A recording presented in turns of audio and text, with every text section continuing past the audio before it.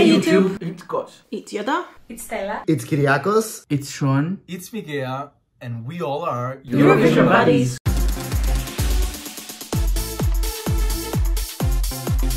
Привет Ukraine and welcome back to our channel. Firstly, I want to thank each one of you for your love and support in our videos and we promise that we are coming with new exciting content in the next days and in the next weeks.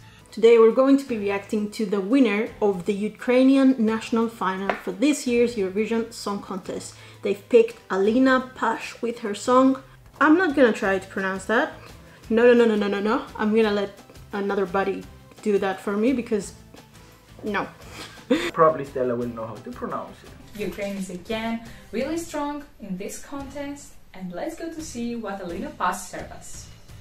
But before we do so, before we do so, before we go and react to the song, if you want all Eurovision material, go and subscribe to this button. To this button, to this channel. You're gonna like it, trust me. Or not. And you can unsubscribe. But give it a try. Let's go and react. Here we go. Alright. Oh, oh, oh. What the hell is this? That's that's me having an orgasm. Oh no, okay. No, that's that's too much. That's not me having an orgasm. For some reason my mind went to Pocahontas. This is fun and good at the same time.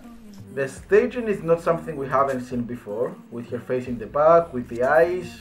I would like it to be a bit more stepping their performance up. Alright. I'm into this. I like her outfit. It gives me a little bit of Jamala vibes. Soon vibes. Netta? Does she have a Ukrainian cousin? It reminds me a little bit of Russia last year. Yeah, they're bringing their traditional elements back in the stage like the last year. Congratulations, Ukraine. The music of this song is incredible. She has a good stage presence. She's she's very um actually I can say that this this song, this this stage is Eurovision ready. I like her vibe.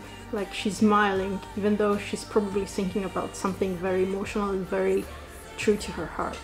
I like it so much. The rhythm is good, the voice is good. This is a very, very painful song to sing. I think this is being transmitted through a lot of emotions, through a lot of passion. But yeah, no English. I would ditch all the English. Oh, English spoken words. That I may have kept, but ditch all the rest because that gives us the message that she wants to convey the rest of the song. I have rap. I did not expect that. I like the staging so much. The message is really powerful because we don't have to stuck in the past and every country has to move on. It seems like a hunting soul which wants to be free. And it's like searching for help. I don't know, it gives me that that feeling. It's traditional, but it's modern too, has the ethnic vibe, has everything. I don't speak Ukrainian, but I think I'm getting I'm getting a message of peace and and you know and, and more peaceful world, you know. She's she's oh she's crying. Performance wise, cliche. I would ditch this out. It's a very unique song to have a cliche performance. Oh my god, she's making me emotional. Kind of have goosebumps for some reason. I don't know why. And you, they're showing us like pictures from their ancestors. Whew. Wow. Good job, Ukraine. Wow. I don't really get why we have the gigi gigi gigi. Is that something Ukrainians are having in their tradition? The gigi gigi gigi? Ooh, ooh, I don't know. It sounds like a very powerful song to their culture, so I don't really get why we have these sounds. If you're from Ukraine, please help me out, because I'm not. Write it in the comments, why do we have these sounds? Do you believe that we have these sounds based on the context of the song? I really enjoy the song. I said everything I had to say during my reaction. Performance, I find it cliche and I feel that it needs to be um, elaborated for Eurovision to be much much better because we've seen everything before and in a context that it doesn't really suit the song in my opinion. I would also teach all the lyrics uh, that are in English out, except from the part that we have the spoken word. Because this song could be an amazing, amazing song for Ukraine. The music is incredible, her voice is incredible, it's such a unique song. I like the clothes, so it could be a moment for Ukraine to be high again. Honestly, her energy really transcend through this performance. You can tell like she is very much into what she's saying, even though I have no idea what she's saying, what she is trying to tell us about her ancestors. But yeah, this is magical and certainly more original than what we've got so far. Oh my god. I want to say so many things about this song. I think Ukraine is gonna be again in top 10 and probably in top 5. I really like this song, I really like the performance, I like the staging, I like the message of the song, I like everything.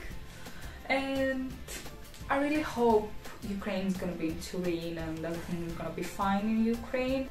This song is what they need this year, so well done Ukraine, it's the right song and I really want to see you in Turin. let's get real, okay?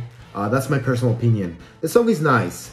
It's quite melodic. It's, it's angelic. She's like Dina, the war princess. Yes, that's that's what what reminds me. So it, it looks like her. She's like a warrior for her country. And um, and to be honest, with with the current you know situation that that we're having, uh, of course, in Eurovision you shouldn't be conveying political messages. But I think it is somehow a, a message of peace and and and of course it's it's a really difficult situation because we we are here having a you know we're free um, and and these people in Ukraine and you are having this major conflict. Well, that was special. Like, Ukraine is one of my favorite countries in the Eurovision Song Contest. Uh, first, because they have never failed to qualify for the grand finals. And this means that in their elements of the songs that they're bringing in the Eurovision Song Contest makes to steal the other people's attentions to make to vote them. And that's special. That's Ukraine. 100% they're rating qualifying. So before I give the reaction and the reviews, I think this is a sure qualifier. Of course, this is going to qualify for the grand final. Firstly, because it has some traditional elements, ethnic. Alina can sing. Alina can sing and she can sing very well. Like her high notes, she can do this thing like I don't know how to do that because it's something that she can do uh, well more than me. But I think that uh, this is a sure qualifier. Like the song is completed. Also, the choir that uh, is singing with her, like all they are in a harmonic way, which makes these song very, very nice entry. Like I will listen this, uh, I will repeat this song, listen in my shuffle and in my playlist. Maybe the the only thing that I'm a bit uh, mm, that um I wouldn't like them to have done it. It's the the English part because they start and they bring the Ukrainian atmosphere and their traditional ele elements and uh, changing them after in English, it makes them lose a bit the atmosphere that we got from the Ukrainian uh, language. It's still perfect. It doesn't make that that less uh, less valuable for the Eurovision stage, but I mean, would be more special if they would would have kept it in uh, in Ukrainian. This is beautiful. Um, it really touched me. It gave me goosebumps. It gave me brividi. It's only the second song to give me brividi in this Eurovision season. Italy and Ukraine. And it's interesting because Italy and Ukraine last year were the top two in the televote. And they were the most authentic songs. And this year, so far in this lineup, they are the ones that are bringing the most authenticity, in my opinion. And you know, watch them be the pioneers of the televote in Eurovision 2022 again. Back to Alina Pash. This song is amazing. Um, it's you can always count on Ukraine for bringing an ethnic flavor that is representative to the musical culture. You can always count on Ukraine to take an element of music in of the music industry that is mainstream and spice it up well enough to give it that local flavor You can always count on Ukraine to give you something quality, and this is exactly what this is quality written all over it. That's what we thought about Ukraine this year's entry for the Eurovision 2022. As you already know, if you haven't done it yet, we invite you to subscribe to our channel, give this video a big thumbs up, and hit the notification bell so you won't miss any of our new content that is coming in this channel. Thank you very much for your love and support, and we give you a big hug. Bye!